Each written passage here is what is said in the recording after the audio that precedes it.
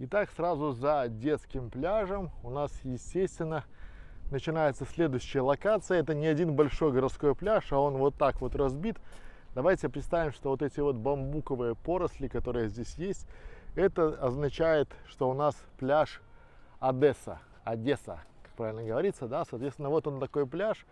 Э, что отличительно у этого пляжа, да, он, соответственно, э, находится около бывшего или там настоящего ресторана Одесса, вот, это напротив башни Алфавит и вот колесо а, обозрения. Да, соответственно, сразу за детским пляжем, то есть, а за детским пляжем у нас еще там пляж наблюдения за дельфинами, вот такой замечательный пляжик Порт Одесса.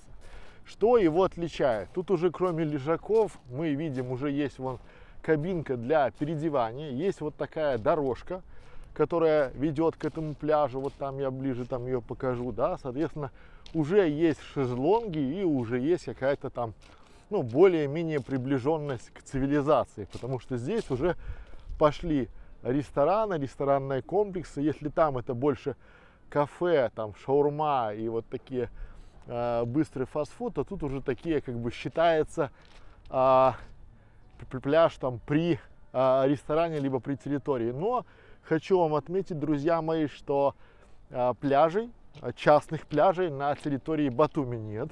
И поэтому вы везде можете вправе ходить, и здесь нет такого, что на этом месте там нельзя проходить, потому что это пляж. Это считается пляж, и э, ну, просто как такая градация, да, ну, уже здесь мы видим в этом пляже, да, как видим, там кабинки для переодевания, какая-то цивилизация, вот, и вот люди уже отдыхают.